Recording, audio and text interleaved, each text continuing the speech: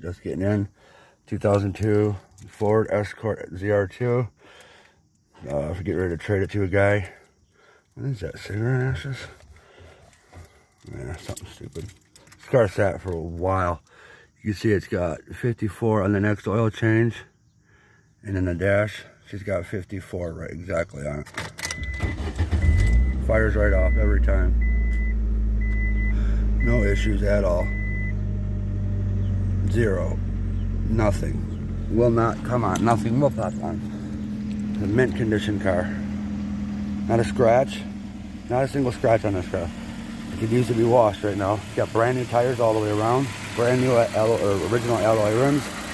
There's the engine bay.